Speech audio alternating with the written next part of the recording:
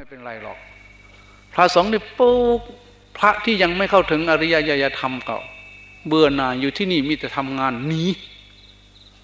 หนีไปก็ไปดูถูกครูบาอาจารย์ โอ้ยอาจารย์สมภพผีบ้าเนี่ย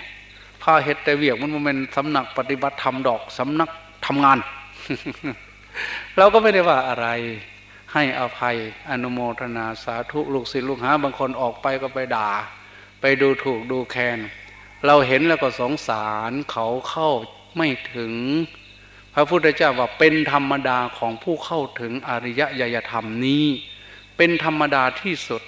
ที่จะมีส่วนร่วมอย่างมีคุณค่ากับสังคม อยู่ที่ไหนเขาจะทำประโยชน์จะรับผิดชอบการงานน้อยใหญ่ต่ำสูง ด้วยปัญญา ร่วมหมู่ร่วมคณะในขณะเดียวกัน กายก็ทำงานภายนอก จิต ก็จะคุ้มครองใจกันภายในด้วยสติ เขาสมทานอย่างมั่นคงในอธิสินสิกขาอธิจิตสิกขาอธิปัญญาสิกขากายทำงานภายนอกไป ใจก็ปฏิบัติธรรมภายใน เหมือนโคแม่ลูกอ่อน และเล็มหญ้าเอาลูกไปนอนไว้ใต้พุ่มไม้ในป่า แม่ก็เละเล็มหญ้าไป ตามันก็คอยชำเลืองดูลูก หูก็คอยฟังเสียงลูกไปด้วย กินหญ้าไปด้วย เวลาใดได้ยินเสียงลูกร้อง ก็วิ่งไปหา เวลาใดเห็นคนหรือใครเดินมานั้น โคแม่ลูกอ่อนมันก็จะวิ่งไปหาลูกมัน เพราะมันรักมันคุ้มครองลูกมัน บุคคลผู้เข้าถึงอริยญาธรรมเป็นธรรมดา เขาจะทำงานน้อยใหญ่ต่ำสูงร่วมมู่ร่วมคณะอย่างรับผิดชอบอย่างมีคุณค่าในขณะเดียวกัน จิตใจของเขาก็จะมีสติคอยดูแลการกระทบ ของผัสสะได้ยินเสียงที่ไม่ดีที่ถูกอกถูกใจก็ตาม เขาจะคอยกันสิ่งเหล่านั้นออกจากใจ รู้ผัสสะนั้นอยู่อย่างต่อเนื่อง เรียกว่าทำกิจภายนอกทำจิตภายใน ถ้าทำได้อย่างนี้มีแต่คุณแต่ค่าแก่โลกแก่สังคม สังคมขาดแคลนคนชนิดนี้ สังคมจึงเต็มไปด้วยการเห็นแก่ตัวเอารัดเอาเปรียบ ถ้าเราสามารถนำสังคมคนในสังคมเราเนี่ยเข้าถึงธรรมประเภทนี้ บ้านเมืองจะสงบระงับ บ้านเมืองจะเต็มไปด้วย ความสมัครสมานสามัคคีการเอื้อเฟื้อช่วยเหลือเจือจุนเกื้อกูลซึ่งกันและกัน สิ่งแวดล้อมจะดีงามกว่านี้ สังคมจะดีกว่านี้ทีนี้มันขาดทำอันนี้ อันนี้เล่าให้ฟัง นายสุทัศน์ก็เลยยกชื่อเก่าของนายเชษมาเป็นชื่ออาราม ให้นายเชษนี้ได้บุญเรียกว่าปัตตานุโมทนาใหม่ บุญสำเร็จด้วยการอนุโมทนา ส่วนบุญที่ผู้อื่นแผ่มา ส่วนนายสุทัศน์นี่ก็แผ่บุญต่อไป นายเชษก็ถวายต่ออีกข้างหน้าเป็นทางเข้ามา อันนี้เล่าให้ฟังว่า เศรษฐี ใจบุญ นายทุนหน้าเลือด จะอยู่ด้วยกันไม่ได้ แต่เมื่อทำอันนี้เข้าไปถึงจิตถึงใจนายทุนหน้าเลือดจะเปลี่ยนพฤติกรรมกลายมาเป็นเศรษฐีใจบุญ นี่เราจะเห็นได้ว่าคุณทำระดับนี้มันมันจำเป็นที่สุดในสังคมในประเทศชาติบ้านเมือง ตั้งแต่ชีวิตของพระราชามหากษัตริย์ ชีวิตเศรษฐีชีวิตแพทย์ชีวิตหมอ ชีวิตเจ้าหน้าที่บ้านเมือง อามัจจาวาอามัจจาแปลว่าอมมาต ภาษาบาลีว่าอมาตยา ภาษาภาษาบาลีว่าอมาตภาษาบาลีว่าอามัจจา สันสกฤตว่าอามาตยา ภาษาไทยออกเสียงว่าอมาตคือเหล่าราชการทั้งหลาย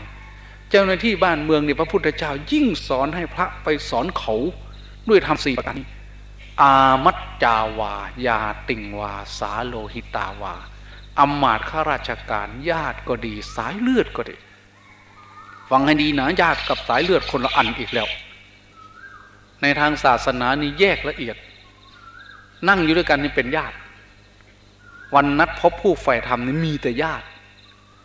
อาจจะไม่ใช่สายเลือด ญาติก็คือผู้ที่เข้าใจสนิทสนมกลมกลืนอย่างหนึ่งอย่างเดียวกัน อยู่นู่นภูเก็ต นครศรีธรรมราช พัทลุง ชุมพรเชียงใหม่ลำปางไกลแค่ไหนพากันมา จันบุรีระยองแปดริ้ว นี่เป็นญาติญาติทางธรรมญาติทางจิตใจที่เข้าอกเข้าใจ มีอุปนิสัยใจคออย่างเดียวกัน จึงมาหากัน แต่สายเลือดอาจจะไม่เป็นญาติก็ได้ เกิดมาในท้องแม่เดียวกัน แต่ความรู้สึกนึกคิดไปคนละฟ้าละดินเลย อย่างนี้พระพุทธเจ้าว่าไม่ใช่ญาติ เป็นเพียงสายเลือด เพราะฉะนั้นท่านจึงแยกนะอามัจจาวายาติงวาสาโลหิตาวาข้าราชการก็ดี สายเลือดก็ดีญาติก็ดี จงไปแนะนำพร่ำสอนคนเหล่านั้น ถ้าพอพูดกันรู้เรื่องให้เขาเข้าถึงธรรมเมื่อกี้เรามองดูชีวิตตัวอย่าง ชีวิตพระราชาอย่างพระเจ้าพิมพิสาร ผู้เข้าถึงธรรมสี่ประการนี้ เป็นชีวิตที่สมบูรณ์แบบมาก เกื้อกูลแก่โลกแก่สังคมมาก ชีวิตหมออย่างชีวกโกมารพัฒทำประโยชน์จนตาย สร้างโรงพยาบาลสงโรงแรกของโลก เดี๋ยวนี้ใครไปประเทศอินเดียก็ยังเห็น มูลดินที่ก่อไว้ชีวกรรมพวันที่นายแพทย์หมอชีวกรักษาพระเจ็บไข้ได้ป่วย เศรษฐีใจบุญอย่างอนาถบินทิกเศรษฐีนั้นทานจนยากจนจน พระพุทธเจ้าเคยเตือน วันหนึ่งไปพบพระพุทธเจ้ากับหมู่เศรษฐีห้าร้อยไปกราบ พระพุทธเจ้าถามว่าเดี๋ยวนี้ยังพอใจในการให้ทานอยู่หรือ อนาถาบินที่กับเศรษฐีว่ากระผมไม่เคยอิ่มในการให้ทาน แต่ว่าโภคะของผมได้ขาดแคลนได้ลดลงแล้ว เดี๋ยวนี้ต้องให้ทานเพียงข้าวสุกเป็นที่หนึ่ง น้ำผักดองเป็นที่สอง อาหารอันปราณีตอื่นไม่มีจนลงแล้ว นี่เป็นเงื่อนไขให้เทวดา มิจฉาทิฏฐิได้เข้ามาบอก อนาถาบินทิกาเศรษฐีให้เลิกนับถือพระพุทธพระธรรมพระสงฆ์ยิ่งนับถือเท่าไหร่ก็ยิ่งจนลงไปเท่านั้น แต่ก่อนท่านนับถือเทวดาได้บูชาเทวตาพรีได้เลี้ยงได้ดูเทวดา แต่บัดนนี้ท่านไปเลี้ยงแต่สมณะโลโลเหล่านั้น ท่านก็ต้องยากจน ถ้าท่านอยากรวยอย่างเก่า ท่านต้องเลิกนับถือ แล้วมาบูชาเทวดาอย่างเรา เราจะทำให้ท่านร่ำรวยจะคุ้มครองท่าน อาณาถาบินที่กเกษตรีตื่นขึ้นแจ้งมา บอกคนใช้บริวารว่าเอาไฟไปเผาที่มันอยู่เทวดาเหล่านี้เทวดาชาติชั่ว ไปยืนด่าไม่เห็นตัวก็ด่าเอาอัปเปหิเทวเตเตหิเทวดาชาติชั่วใสหัวมึงไป อยู่ดีๆน้อยเนี่ยมาบอกให้พ่อออกจากพระรัตนตรัย เทวดาตนนี้ร้องไห้ไป โจนไปถึงพระอินทร์หาเท้าจตุโลกบาลให้มาช่วย ขอขมาลาโทษว่าถูกเศรษฐีไล่หนีแล้วไม่มีที่อยู่ในซุ้มประตูนี่ ที่เป็นสารพระภูมิก็ไฟเผาทิ้งแล้ว ไปหาพระอินทร์พระอินทร์ก็สอบถาม ไปหาเท้าจตุโลกบาลจตุโลกบาลก็สอบถามได้ความจริงก็บอกว่า เธอทำผิดแล้ว บุคคลผู้เข้าถึงอริยญาณธรรมเช่นนี้ เทวดาทั้งหลายต้องน้อมเสียนอภิวาททำไมต้องไปพูดอย่างนั้นนั่นเป็นการประทุษร้ายแม้กระทั่งพระรัตนตรัยเราไม่กล้าที่จะไปขอขมาลาโทษ นู่นไปหาพระอินทร์บนดาวดึงพระอินทร์ก็พูดอย่างเก่า แต่พระอินทร์บอกว่าเอาอย่างนี้ ทรัพย์ของเขาสิบแปดโกดจมลงไปในน้ำริมฝั่งแม่น้ำอจิรวดีนั่นที่คนอื่นยืมไปอีก สิบแปดโกดโกงไปเลย ผู้ที่เข้าถึงธรรมเหล่านี้แล้วไม่มักจะจู้จี้นะ ถูกเขาโกงแล้วก็ขี้เกียจทวง เลิกเลยไม่ต้องไปฟ้องขึ้นลงขึ้นศาลถ้าไปฟ้องก็แล้วแต่ลงแต่ศาลคือจิตใจเขามีความสุขมากกว่าการที่จะมีเงินมากๆ มันจะเสียเขาไม่ยอมลดความสุขทางธรรมไปเพิ่มความสุขทางโลก มีแต่เขาจะลดความสุขทางโลกมาเพิ่มให้กับความสงบทางธรรมอนาถาบินที่เกษตรถีกำลังจน พระอินทร์บอกว่าไปเอาทรัพย์เหล่านั้นมาให้หมด ที่เขาลงทุนร่วมค้าสำเภาเรือแตกอยู่ในทะเลนั่นไปเอามา เอามาคืนให้เขารวย แล้วฉันจะพาไปขอโทษ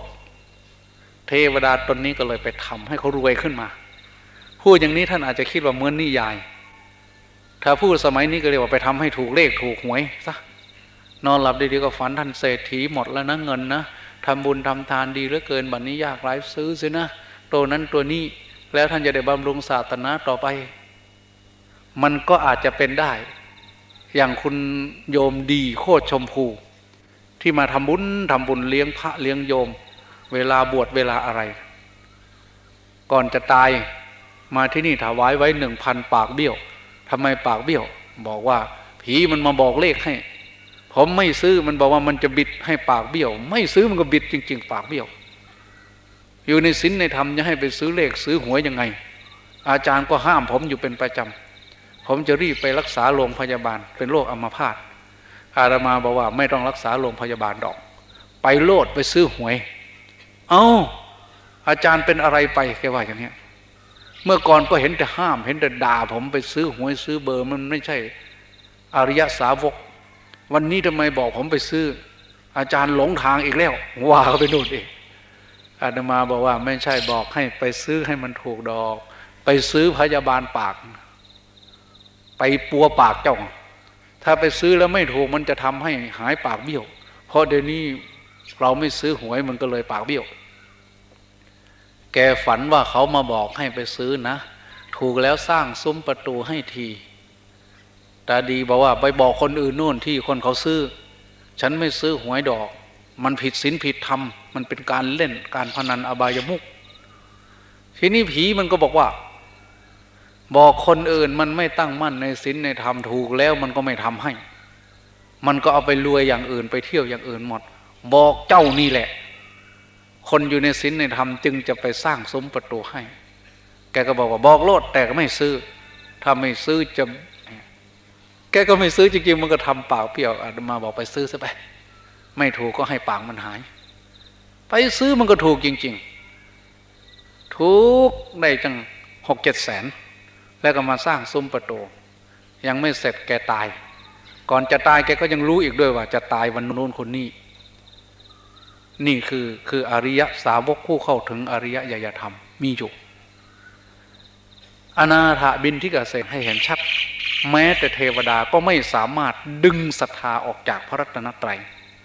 ฟังให้ดีนะ ถ้าเป็นคนธรรมดาหวั่นไหวแล้วนะ เทวดาบอกว่าจะทำให้ท่านรวย ถ้าท่านเลิกนับถือสมณะเหล่านี้ ถ้าเป็นคนทำแต่นี่ไปไปไปไปไปเอาไฟไปเผาสารพระภูมิทิ้งเทวดาชาติชวนสารพระภูมิไฟเผาหัวเราะชอบใจ นกตัวน้อยๆทีนี้มาดูชีวิตตัวอย่างเอกผัวเมีย ท่านไม่ต้องกลัวว่าเมื่อเข้าถึงทำสี่ประการแล้วชีวิตคู่ของท่าน จะเป็นชีวิตที่มีปัญหา แห้งแล้งความสุขทางโลก ไม่ไม่มีทางที่จะขัดแยง้ง ยิ่งเพิ่มเติม จะมีความรักอย่างดูดดื่มผัวหนึ่งเมียเดียวนักกุลมารดานักกุลปิตาเข้าถึงทำสี่ประการนี้ พระพุทธเจ้าท่านบอกธรรมวินัยโอคาทัพปตา เขาได้อย่างเข้าสู่ทำวินัยนี้แล้ว สู่ศาสนานี้แล้ว ทั้งสองคนเป็นคู่ผัวตัวเมียคู่ผัวเมียตัวอย่าง กราบพระพุทธเจ้า ไม่ได้เล่าอะไรเล่าได้เรื่องผัวตนเองให้พระพุทธเจ้าฟังผัวก็เล่าแต่เรื่องเมีย เมียนกุละมารดาบอกว่าพระผู้มีภาคเจ้าผู้เจริญน่าอัศจรรย์ ตั้งแต่หม่อมฉันมาอยู่บ้านนี้ ไม่เคยคิดเลยที่จะมีความรู้สึกนอกอกนอกใจ สามี ไม่เคยแม้แต่คิด ไม่ว่าคนนั้นจะสวยสดงดงามหยาดเยิ้มมาจากฟ้าจากสวรรค์น่าอัศจรรย์ส่วนฝ่ายสามีก็พูดเหมือนกัน พระผู้มีภาคเจ้าผู้เจริญ กระผมมีความภาคภูมิใจในนักกุลมารดา ตั้งแต่นักกุลมารดานี่มาอยู่ที่นี่เลย แม้แต่ฝันผมก็ยังไม่เคยฝันที่จะนอกอกนอกใจเธอ น่าอัศจรรย์พระพุทธเจ้าของเราท่านบอกว่า ธรรมดานะ ผู้มีธรรมสี่ประการนี้เสมอกัน สมะศีลา สมะศรัทธา สมะจาคา สมะปัญญา มีศีลควบคุมตนเองเสมอเหมือนกัน มีศรัทธา สมะศรัทธาศรัทธาเสมอกัน มั่นใจในบาปในบุญในศาสนาเหมือนกัน สมะจาคามีการเสียสละให้อภัย ยืดหยุ่น ต่อกัน สมะปัญญามีปัญญาเสมอกันพูดกันรู้เรื่องเข้าใจกันได้ง่าย เมื่อผัวเมียคู่ใดมีธรรมสี่ประการนี้ จะเกิดไปกี่ภพกี่ชาติก็พบกันไปตลอด จนกว่าจะหมดเชื่อแห่งความเป็นผัวเป็นเมีย ถึงขั้นอนาคามีแล้วก็จะ ต่างก็จะไปมุ่งไปสู่ความดับภพสิ้นชาติสู่พระนิพพาน เพราะฉะนั้นเรามาปฏิบัติธรรมถ้าเข้าถึงธรรมสี่ประการนี้ ท่านจะไม่มีปัญหาทางครอบครัว จะมีความรักกันดูดดื่มมาก ทีนี้ก็ขอต่อไปอีกนิดนึงว่า เอาดูคนจนๆคนที่ยากจนที่สุดเมื่อมีธรรมสี่ประการนี้ ทวดาฟ้าดินก็ไม่สามารถเปลี่ยนใจเขา นายสุพัทธกุฏิชื่อชื่อนี้ บางทีเขาเรียกชื่อนี้ บางทีก็ใช้อีกชื่อหนึ่ง ชื่อว่าสุปปะพุทธกุฏิคือเป็นคนโรคเรื้อน บางทีเรียกสุพัทธกุฏิบางแห่งก็เรียกชื่อแปลกๆกันไป เขาเป็นคนโรคโรคเรื้อนโรคขี้ทูด คือมือเท้านี่หงิกงอกูด ขอทาน น้ำเหลืองไหลเยิ้มขอทานเขากินไปวันวันวันวันวันหนึ่งเห็นคนมาวัดมากๆ เหมือนพวกเรามาเนี่ย คนขอทานก็ดีใจ ตรงนี้เราจะไปขอทานได้สบายๆคนเยอะ แกก็มา แต่มาแล้วคนทั้งหลายเขานั่งสงบฝังเทศเหมือนในขณะนี้ แกไปไหนคนอื่นก็บอกมือไล่เพราะแมงวันตอมแกอยู่ตลอด น้ำเหลืองไหลเยอะแกก็ไปนั่งอยู่ท้ายๆบริษัท นั่งอยู่ท้ายบริษัทนู่น หูก็ฟังธรรมของพระพุทธเจ้า ท่านก็แสดงธรรมสี่ประการนี้ศรัทธาเลื่อมใสในพระพุทธเจ้า เชื่อมั่นเลื่อมใสในพระสงฆ์ในพระธรรมไม่หวั่นไหวมีปัญญาเห็นธรรมอันซื่อตรงอันถูกต้อง ตามธรรมชาติกฎเกณฑ์ธรรมชาติ มีศรัทธามีสินมีจาคะมีปัญญาอัทลิโทติตังอหุอโมคันตัสสะชีวิตัง บัณฑิตทั้งหลายกล่าวเรียกเขาผู้นั้นเป็นคนไม่จน ชีวิตของเขาไม่เป็นหมันทรัพย์ภายนอกให้ความสุขสะดวกสบายได้เพียง ร่างกายเพียงในโลกนี้ ทรัพย์เหล่านั้นไม่สามารถถือนำติดตัวไปสู่ปรโลกได้ ไม่สามารถเป็น สิ่งที่จะเอื้ออำนวยไปจนถึงสวรรค์ถึงนิพพานได้ แต่ทรัพย์ภายในอริยทรัพย์เหล่านี้ เป็นทรัพย์ที่ผู้ใดจะมาแย่งมาชิงไปไม่ได้ ไม่ใช่สาธารณะที่คนอื่นจะเอาไป และทรัพย์เหล่านี้อาทายคัชติสามารถถือเอาไปได้ด้วย สู่ปรายภพบโลกหน้า แกฟังแล้วแกก็เริ่มเข้าใจ สุดท้ายก็เกิดความเลื่อมใสในพระพุทธเจ้าพระธรรมพระสงฆ์มาก ว่าวันนี้เราไม่จน เรากินไปวันวันหนึ่งพอถึงวันตาย แต่จิตใจเราจะไม่ยากจน มั่นคงในพระรัตนตรัย เราเข้าใจแล้วว่าเราเกิดมายากไรขัดสนเป็นคนกายวิปริตจิตใจก็ยังไม่วิปราชแม้จะยากจะจนก็เพียงภายนอกนี้เกิดมาจากความจริงอันหนึ่งเกิดมาจากผลวิบากแห่งกรรมที่เราได้กระทำมา ยอมรับความจริงอันนั้น เพื่อนเขาไปหมดแล้วนาย โรคเรือนคนนี้ ก็ไม่ไปนั่งเกิดปีติเกิดปาโมดเอิบอิ่มไม่โหยหาความอิ่มอื่นใด อาหารก็ไม่หิวแม้จะยังไม่ได้กินข้าวสายๆจิตใจก็เลยเปล่งอุทานขึ้นมา สุภพุทธากุฏินี้ก็เปล่งอุทานขึ้นมา พุทธังสารนังคัจฉามิธรรมังสารนังคัจฉามิ สังฆังสารนังคัจฉามิ เข้าไปกราบเล่าเรื่องถวายพุทธเจ้า พระเจ้าบอกว่า บัดนี้เธอไม่จนแล้วนะ เธอเป็นคนร่ำรวย เธอร่ำรวยยิ่งกว่าได้เป็นพระเจ้าจักรพรรดิครองแผ่นดินปัทภาเอกรเชนะสคัสสะคมเนนวาสพโลกาธิปัจเจนะโซตาปฏิพลังวลัง ยิ่งกว่าเอกราชใด ๆ ในแผ่นดิน ยิ่งกว่าอธิปไตยใด ๆ ในโลกล่า ยิ่งกว่าขึ้นสวรรค์ชั้นใด ๆ คือการเข้าถึงธรรมระดับนี้ที่เป็นองค์คุณโซดาบัน หลังจากนั้นเขาก็ร้องเพลงไปตามทาง ร้องเพลงสรรเสริญพระรัตนตรัย พระอินทร์ได้มาลองปลอมตัว เป็นคนร่ำรวยขี่มา้าขี่ขี่ขี่รถม้ามา มาบอกว่าเธอร้องเพลงอะไรสรรเสริญพระรัตนตรัยเธอจะไปไหนจะไปขอทาน ยังไม่ได้กินข้าวอะไรเลยวันนี้ขาดจะไปฟังเทศและเพลิดเพลินอยู่ด้วยการฟังธรรม ชื่นใจอยู่ในรถพระธรรม พระอินทร์ปลอมนี่ก็เลยบอกว่า คนโง่ ถูกหลอกลวงมาแล้วจากสมณะโคดมช่วยอะไรได้ พระพุทธพระธรรมพระสงฆ์ชื่นชมอยู่สรรเสริญอยู่ แต่เสร็จแล้วต้องไปขอทาน เอาเถอะ ฉันจะให้เงินหนึ่งพันกหาปณะไม่ต้องไปขอทานไปซื้อกินนะ แต่มีเงื่อนไขหน่อยว่า เธอเลิกนับถือพระรัตนตรัยเสียมิฉะนั้นจะเป็นเสนียดจังไรร่ำไป นายคนนี้ไม่เอา ก็เสนอให้อีกเป็นหมื่นเป็นแสนกหาปณะ แต่ให้ออกจากพระรัตนตรัยนายคนนี้ก็เลยบอกว่าท่านเป็นใครทำไมถึงมาถูกดูถูกพระรัตนตรัยมาดูถูกเราถึงขนาดนี้ เราบูชาพระรัตนตรัยสุดกล้าสุดเสียนอย่าว่าแต่แสนแต่โกรธทรัพย์ของท่านเลย ต่อให้เอาสวรรค์มาแลกฉันก็ไม่อ่อมท่านเป็นใคร คนนี้ก็บอกว่าเป็นเทวดา ก็ปรากฏตัวสำแดงเดชให้เห็นเป็นเทวดา นายโรคเรือนคนนี้ก็ชี้มือด่าไล่หนี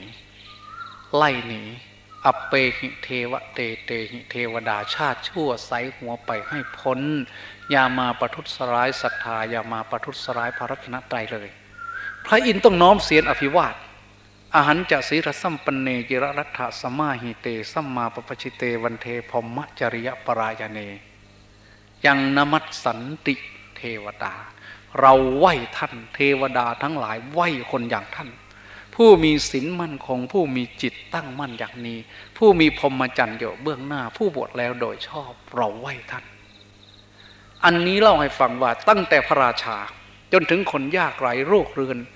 เมื่อมีคุณธรรมระดับนี้มีแต่ประโยชน์ชีวิตเดี่ยวชีวิตคู่ชีวิตหมู่ชีวิตสังคม จะอยู่กันอย่าง แนบแน่นกลมกลืนเป็นเอกภาพท่ามกลางความแตกต่างมายมากหลากหลาย กลายสู่ความสนิทแนบกลมกลืนเป็นหนึ่งเดียวด้วยอำนาจแห่งธรรม จะอยู่ในสังคมแบบใดก็อยู่ได้ด้วยธรรมประเภทนี้ ที่นี่เมื่อพูดถึงตรงนี้ก็จะจะเลยไปกับเรื่องราวที่มาเมื่อเช้า ท่านคงจะเห็นนะเมื่อเช้าอะภรรยามากราบหัวก็เดินมาสองคนนี้เป็นบุคคลที่ น่าเอามาคิด ปีที่แล้วคุณโยมดาราในบ้านเชียงเนี่ย เป็นแม่กวดตลอดวันเจ็ดวันเจ็ดคืนมานอนอยู่ตรงนี้ จนจะผอมทำอาหารเลี้ยงผู้ปฏิบัติธรรมทุกทุกครั้งถ้าอาตมาเรียกร้องไปว่าจะไปตรงโน้นตรงนี้ไม่มีรถมีเรือสองพ่อเมียนี้จะสละงานทันที วันนี้มาวานมามาเห็นคนเยอะ ก็เลยบอกว่ามีบุคคลที่กินอาหารมังสวิรัตบ้างไหมเขาถามสองคนนี้กินอาหารมังสวิรัตนะทั้งครอบครัวทั้งลูกทั้งเต้า แต่ไม่ได้ไปดูถูกผู้ใดนะ เป็นอย่างนั้น อาตมาก็บอกว่า มีบางท่านนะสุขภาพ ตกลงกันสุขภาพของเขาเนี่ยไม่ไม่ค่อยจะถูกกับอาหารอื่นที่ถูกกับพวกนี้ ถ้ามีบ้างก็จะเป็นการดี ก็ว่าถ้าอย่างนั้นพรุ่งนี้ จะนำมา พอดีกลับไปบ้าน เมื่อคืนนี้ตีหนึ่ง ลูก อันนี้จะเป็นเครื่องบอกเอกพ่อแม่ดีลูกไม่ดีก็มีนะลูกคนนี้พอเผลอไม่ได้ไปซื้อเรามากิน พ่อแม่กินมังสวิรัตลูกดื่มน้ำมังสวิรัตถ้มังสวิรัตเหมือนกันนะน้ำเหล้านะนั่นคือน้ำมังสวิรัตไม่ใช่น้ำเนื้อน้ำข้าวเผลอไม่ได้เอาเรามากินพ่อแม่เผลอรักเงิน นี่มันเป็นเครื่องวัดตรวจศรัทธาพอวันปีใหม่แกบอกมาหาอาตมาว่าจะคุ้มของลูกยังไงเนาะกลัวลูกจะเมาจะเป็นอันตราย อาตมาบอกว่าพาลูกนี้ไปทำบุญไปเที่ยวไปไหนนั่นเป็นการคุ้มครอง แกก็เอาลูกไปนู่นบ้านเดิมอยู่สมุทรสาคร เอาลูกไปทำบุญ ปลอดภัยแล้วเขาบอกคุ้มครองลูกผ่านปีใหม่ เมื่อคืนนี้ตีหนึ่งออกไปอย่างไรอะเขามาตาม ขี่มอเตอร์ไซค์ออกไปทั้งสองคนนะ ลูกชายกับลูกสาว รถชน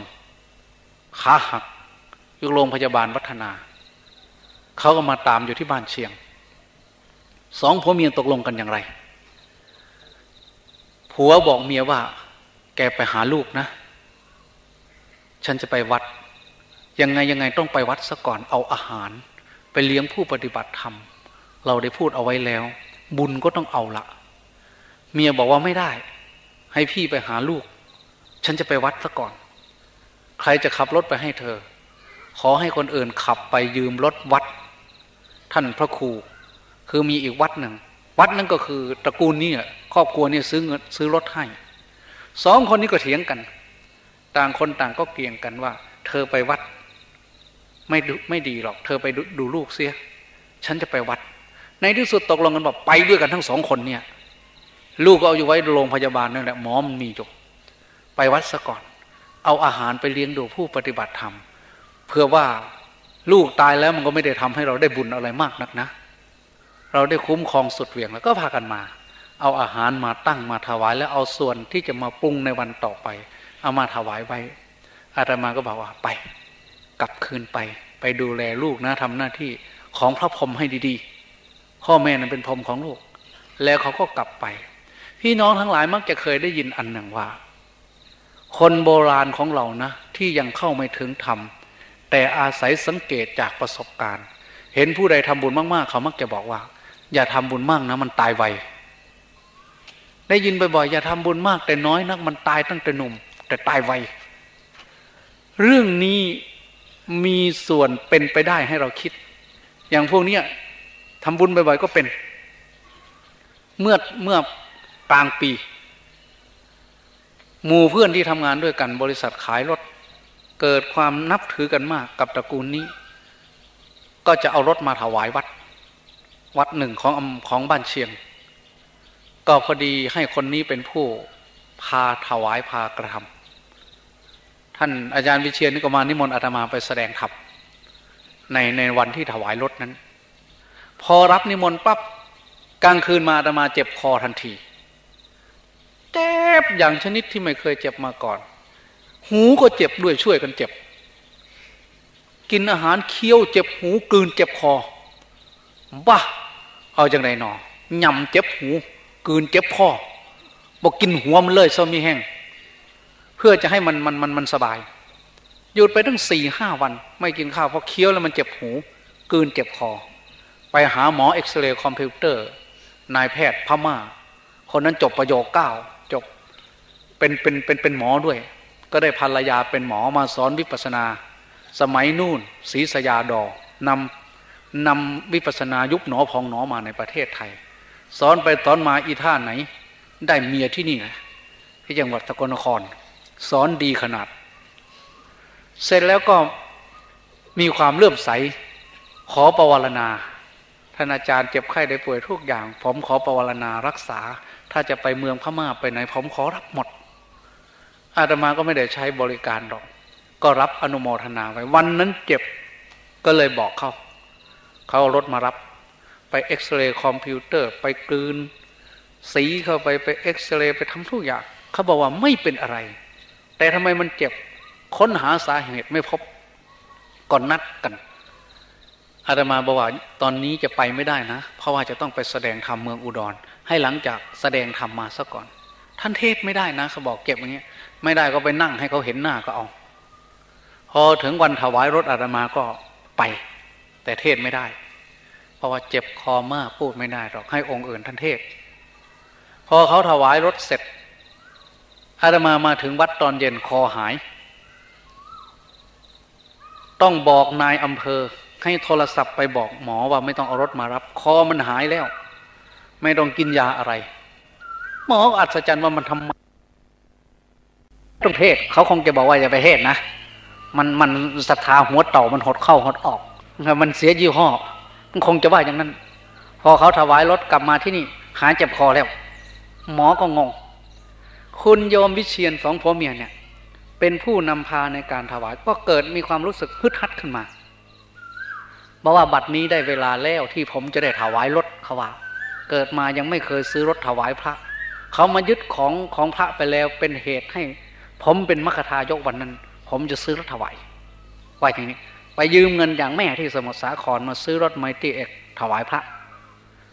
อาตมาก็กระชิบท่านพระครูว่านพระครูระวังเสกสมมุตินะศรัทธาวัตติ โพเคนะหิยติ ศรัทธาเขาเพิ่มโพค่าเขาจะลด บางทีเขาจะเป็นหนี้เป็นสินนะอย่าเพิ่งเอาเลยได้ไหมพระครูท่านก็คงจะคิดอยู่เหมือนกัน แต่เสร็จแล้วก็คงจะคิดว่ามีรถขี่มันก็คงจะดีก็เลย ในนี้ก็ยังเป็นหนี้อยู่นะก็ไม่ได้ทำให้ศรัทธานั้นหวั่นไหว พอมาวันนี้ ลูกขาหักอยู่โรงพยาบาลยังไม่ไปดู มากันทั้งบวไม่ใช่คนเดียวเลยสองคน จะสอบวันนี้ด้วยลูก โรงเรียนอุดรพิษ แกก็มาอันนี้เป็นสิ่งที่ประสบการณ์หนึ่งที่อาตมาเคยพบเคยเห็น แล้วก็น่าเอามาบอกท่านทั้งหลายให้คิดคำที่โบราณบอกว่า อย่าทำบุญมากนะทำบุญมากมันตายไวเพื่อจะไปรับบุญไวๆความจริงมันไม่ได้เกี่ยวกันหรอกโยม มันมีเหตุมีปัจจัย คนเรานี้ไม่ได้เกิดมาชาติเดียวนะ หลายแสนชาติหลายโกรธกับได้ทำบาปทำบุญไว้นับไม่ถ้วนสลับกันไปกันมา อัฐกรรมวิวัตเตนะเพราะเหตุแห่งการมุนเวียนแห่งกรรม พอมาถึงชาตินี้นะสมมตินะอาตมาอยากจะให้ท่านทั้งหลายสมมติ สมมติว่าเราเป็นหนี้นะเป็นหนี้เราเป็นหนี้คนหลาย ๆ คน คนละร้อยคนละพันคนละหมื่นคนละแสน คนละห้าแสนก็มี ทั่วไปแต่ในขณะนี้เราไม่มีเงิน ที่จะใช้หนี้ คนที่เราเป็นหนี้น้อยมันก็ไม่ค่อยมาถาม ไอ้คนที่เราเป็นหนี้มันมากมันจะมาถามอยู่บ่อยๆ ถ้าไม่มีให้มีอะไรให้มันยึดมันก็จะเอา ถ้าไม่มีรอให้ครบสัญญาจะฟ้องศาลล้มละลาย ให้ศาลบีบให้ เรานี่เป็นหนี้หนี้กรรมหนี้เวรเราเคยทำบาปทำกรรมอะไรไว้มาก ๆ บาปกรรมนั้นรอคอย แต่เราไม่มีอะไรที่จะให้ วันนี้เรามาทำบุญ วันนี้เรามาปฏิบัติธรรมกรรมฐาน อย่างที่นั่งกันอยู่ตรงนี้ระวังให้ดีๆ จากนี้ไปถึงถึงวันที่สิบเจ็ดท่านอาจจะได้ยินข่าวร้ายกำลังปฏิบัติธรรมดีๆ อาจจะมาบอกว่าลูกท่านเป็นอย่างนั้น หลานท่านเป็นอย่างนั้นผัวท่านเป็นอย่างนั้นเมียท่านเป็นอย่างนี้กลับเถอะจะเกิดขึ้น มันจะบอกให้รู้ คือเดี๋ยวนี้เรากำลังจะซักฟอกจิตใจของเราให้บริสุทธิ์ให้ดีงาม มีสิ่งใดที่จะทำให้เศร้าหมองสิ่งนั้นจะต้องขจัดออกไป สิ่งที่จะทำให้ชีวิตเศร้าหมองเป็นปัญหาก็คือกรรมเก่าที่ได้ทำมานั้น เมื่อไม่มีสติปัญญาสามารถตัดกรรมในปัจจุบัน เมื่อนั้นกรรมนั้นก็คอยตามให้ผล เรามาประพฤติปฏิบัติธรรมเราทำบุญทำทานมาก ๆ ทีนี้กรรมเก่า พวกที่เขาเป็นหนี้กรรมหนี้เว้นเอาไว้เขารอคอย เขามาถามเราเวลาใดมาคอยเอาก็ไม่ได้ ไม่เคยแพ้บุญ ในสิ่งที่บาปก็จะเศร้ามองใจ ในสิ่งที่ดีที่งามท่านก็จะรู้สึกปราบปลื้มใจ เมื่อมันย้อนไปถึงตอนเด็กๆ ท่านจะรักพ่อรักแม่ยิ่งกว่าเก่า ท่านจะเห็นบุญเห็นคุณของพ่อของแม่ ท่านจะภาคภูมิใจถึงคุณพระรัตนตรัยพระพุทธเจ้า ตลอดทั้งครูบาอาจารย์ผู้แนะนำพร่ำสอน หลังจากนั้นท่านจะเห็นสิ่งที่ท่านทำผิด ท่านโกหกคนอื่นได้ในโลกนี้ แต่ท่านไม่สามารถโกหกใจของท่านได้ ท่านลืมได้เมื่อสิบปีก่อน แต่วันนี้พรุ่งนี้ท่านจะจำมันจะรีคอนเซเลชันมันจะเอาคืนมา เหมือนน้ำที่มันขุ่นๆเมื่อมันใสมันจะใสจากข้างบนลงไป เมื่อเกิดปฏิกิริยาจากสารส้ม มันใสลงไปเท่าไหร่ก็ยิ่งเห็นลึกลงไปเท่านั้น เมื่อท่านระลึกไปตอนเด็กๆ ท่านจะเห็นกรรม การกระทำของท่าน ทั้งดีทั้งชั่ว และท่านจะเห็นอาทีนวะโทษที่ตนเองได้กระทำท่านจะเห็นอัศาทะคุณของผู้มีคุณที่ได้ทำกับท่าน คุณของพ่อของแม่ของครูบาอาจารย์ของพระรัตนตรัยของประเทศชาติ หลังจากนั้นท่านจะเห็นนิสรณะ หนทางที่จะออกจากโทษ หนทางที่จะนำตนเองเข้าไปสู่คุณอันประเสริฐ มันจะเป็นเอง ท่านจึงกล่าวว่า อัศาทะอาทีนวะ นิสรณะประชานติ จะทราบชัดซึงถึงสิ่งที่เป็นโทษ สิ่งที่เป็นคุณ และสิ่งที่จะออกจากมัน ตอนนี้เรากำลังเผาจิตเผาใจเผากิเลสตัณหาให้มันอ่อนเปรี้ยเพรียแรงให้มันอ่อนแอลง เหมือนเหล็กที่มันแข็งกระด้าง เราเผาจนมันแดง แดงแล้วมันจะเบา แดงแล้วมันจะอ่อน แล้วมาตีเป็นมีดเป็นผ้ากระทาขวานได้ ถ้าจิตใจยังแข็งกระด้าง ยากนักที่จะเข้าใจธรรม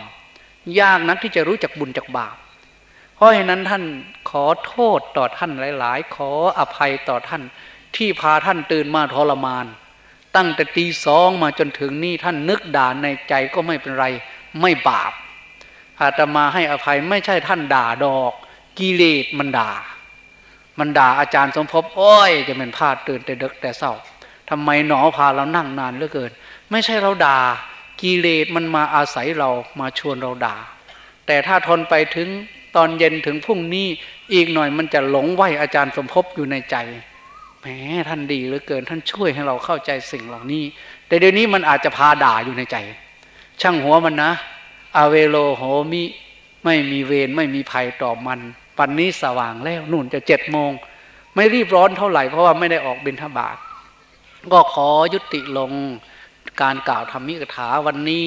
อาจารย์วสันทุลีจันทร์ชาวเมืองร้อยเอ็ดเป็นหัวหน้า เมื่อวานวันก่อนนำเงินมาบริจาคเป็นค่าอาหาร เลี้ยงพวกเราสามหมื่นบาท ก็คงมานั่งปฏิบัติธรรมอยู่ตรงนี้แหละ ท่านจองไว้ตั้งแต่ปีก่อนนู่น วันนี้เราจะได้ยุติลง ขอความเจริญงอกงามในอริยญยธรรม อันจะนำตนเองออกจากโทษจากทุกข์ในวัฏสงสารนี้ จงบังเกิดมีในจิตในใจของท่านต่างหลาย โดยทั่วกันทุกรูปทุกองค์ทุกท่านทุกคนเธอ